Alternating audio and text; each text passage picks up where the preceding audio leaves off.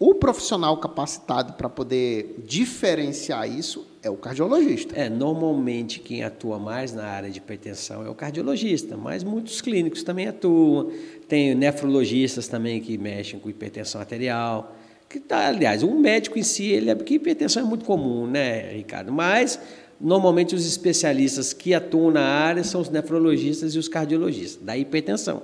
Entendi. É, é, por que, que eu estou falando isso? Né? Porque é, deve ser comum, né? você deve receber bastante paciente que né, tem um, um, problema, uma dor de cabeça, alguma coisa, vai numa UPA e, e enfim, tem uma, um pico de hipertensão lá.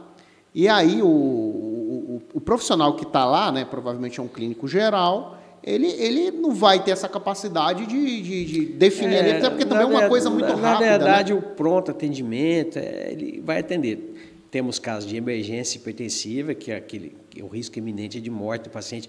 Ele está hipertenso, ele, por exemplo, ele tem um, um AVC, um derrame, com a crise hipertensiva, um edema agudo de pulmão, que é uma doença muito grave no coração. Isso é uma emergência hipertensiva, que é diferente de uma urgência hipertensiva e diferente de uma, de uma crise de pseudo-hipertensão.